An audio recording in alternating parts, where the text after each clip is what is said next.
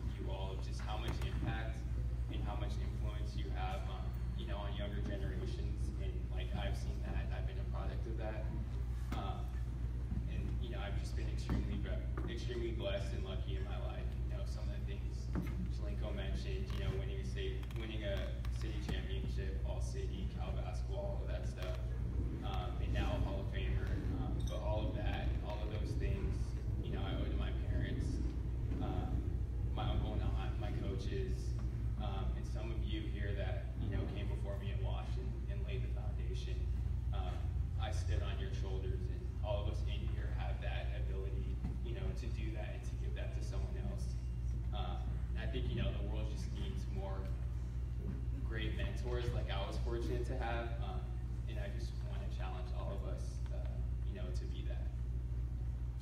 So again, this is truly an honor.